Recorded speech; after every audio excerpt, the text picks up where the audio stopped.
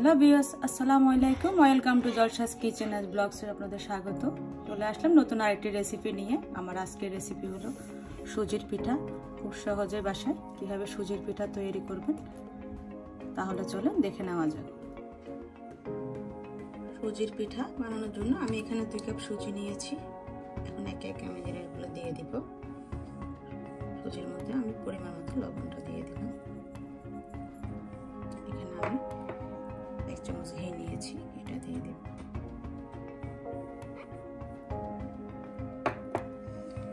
এখানে আমি সাদা এলাচ গুঁড়ো করে নিয়েছি, সামান্য পরিমাণ। এখানে আমি নারকেল নিয়ে নিয়েছি এক বাটি।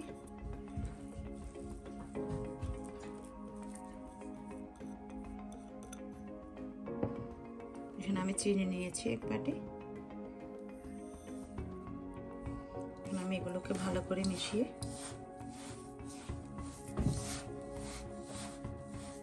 দুধ নিয়েছিলাম কুসুম গরম দুধ, এক কাপ অল্প অল্প করে দিয়ে ভালো করে মিশিয়ে নেব।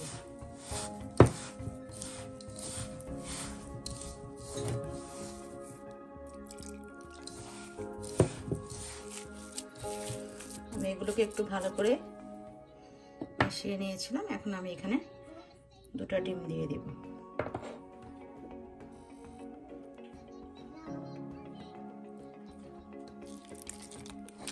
ডিম দিয়ে দিলাম ডিম দিয়ে শেষে দিয়ে পুরোটা ভালো করে মাখিয়ে নেব। আমি এটাকে এখন দশ মিনিটের জন্য ঢাকনা দিয়ে রেখে দেব। দশ মিনিট পর ফিরে আসলাম। লোটুকু অনেক সফট হয়ে গিয়েছে, এখন আমি এটাকে তেলে ভেজে নেব।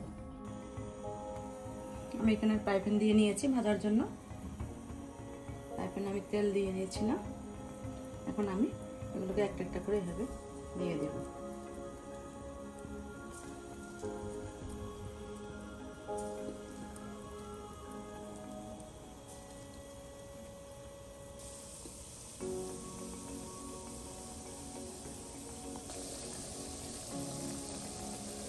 আমি এভাবে করে সব দিয়ে নিয়েছি।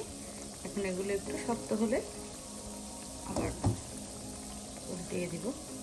একটু ভালো করে শক্ত হয়ে নিই।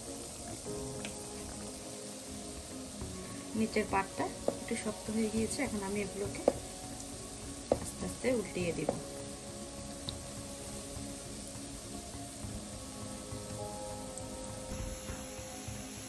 এখন এগুলোকে ভালো করে উল্টিয়ে পাল্টিয়ে ভেজে নিতে হবে।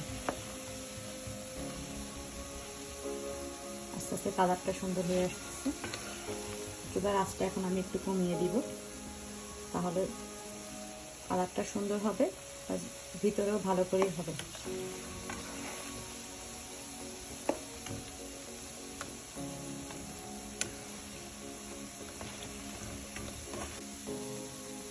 আমার সুজির পিঠাগুলো সম্পূর্ণভাবে হয়ে গিয়েছে।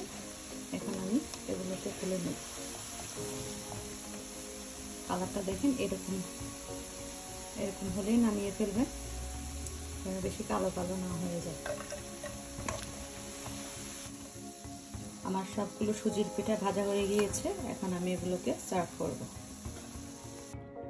সার্ভ করে ফেললাম, মজাদার সুজির পিঠা, কেমন হয়েছে কমেন্টে জানাবেন। যদি আমার এই রেসিপিটা আপনাদের ভালো লেগে থাকে, তাহলে আমার পেজে একটি লাইক দিবেন। এবং যারা এখন আমার চ্যানেলটি সাবস্ক্রাইব করেন নাই প্লিজ আমার চ্যানেলটি সাবস্ক্রাইব করবেন। দেখা হবে আবার নতুন কোনো রেসিপি নিয়ে। সে পর্যন্ত সবাই ভালো থাকুন। আসসালামু আলাইকুম।